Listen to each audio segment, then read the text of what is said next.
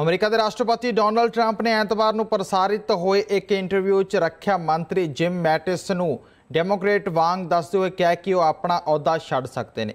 ਇੱਕ ਪੱਤਰਕਾਰ ਏਜੰਸੀ ਨੂੰ ਐਤਵਾਰ ਨੂੰ ਦਿੱਤੀ ਇੰਟਰਵਿਊ 'ਚ ਟਰੰਪ ਤੋਂ ਪੁੱਛਿਆ ਗਿਆ ਕਿ ਕੀ ਉਹ ਚਾਹੁੰਦੇ ਨੇ ਕਿ ਮੈਟਿਸ ਅਹੁਦਾ ਛੱਡ ਦੇਣ ਇਸ ਉੱਤੇ ਟਰੰਪ ਨੇ ਕਿਹਾ ਕਿ ਅਜਿਹਾ ਹੋ ਸਕਦਾ ਹੈ ਕਿ ਉਹ ਅਹੁਦਾ ਛੱਡ ਦੇਣ।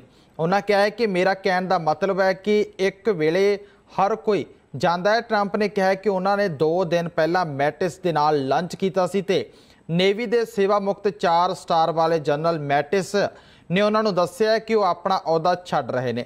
ਟਰੰਪ ਨੇ ਆਪਣੇ ਮੰਤਰੀ ਮੰਡਲ 'ਚ ਬਦਲਾਅ ਦੇ ਸੰਕੇਤ ਦਿੱਤੇ ਨੇ, ਜਿਸ ਤੋਂ ਬਾਅਦ ਉਹਨਾਂ ਨੇ ਮੈਟਿਸ ਉੱਤੇ ਇਹ ਟਿੱਪਣੀ ਕੀਤੀ ਹੈ। ਰਾਸ਼ਟਰਪਤੀ ਨੇ ਕਿਹਾ ਕਿ ਮੈਂ ਚੀਜ਼ਾਂ ਬਦਲ ਰਿਹਾ ਹਾਂ ਤੇ ਮੈਂ ਇਸ ਦਾ ਅਧਿਕਾਰ ਰੱਖਦਾ ਹਾਂ। ਮੇਰੇ ਕੋਲੇ ਹੁਣ ਲੋਕ ਅਤੇ ਅਸਧਾਰਨ ਸਾਬਿਤ ਹੋਣਗੇ। ਉਹ ਪ੍ਰਸ਼ਾਸਨ ਚਾਹਣਗੇ ਤੇ ਉਹ ਅਸਧਾਰਨ ਸਾਬਿਤ ਹੋਣਗੇ। ਉਹਨਾਂ ਨੇ ਕਿਹਾ, ਮੈਨੂੰ ਲੱਗਦਾ ਹੈ ਕਿ ਸਾਡੇ ਕੋਲ ਬਹੁਤ ਵਧੀਆ ਮੰਤਰੀ ਮੰਡਲ ਹੈ, ਕੁਝ ਲੋਕ ਹਨ ਜਿਨ੍ਹਾਂ ਤੋਂ ਮੈਂ ਖੁਸ਼ ਨਹੀਂ ਹਾਂ ਤੇ ਮੇਰੇ ਕੋਲ ਕੁਝ ਹੋਰ ਵੀ ਲੋਕ ਨੇ ਜਿਨ੍ਹਾਂ ਤੋਂ ਮੈਂ ਬੇਹੱਦ ਖੁਸ਼ ਹਾਂ।